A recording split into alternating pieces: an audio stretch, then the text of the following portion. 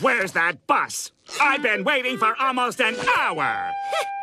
Almost an hour, he says.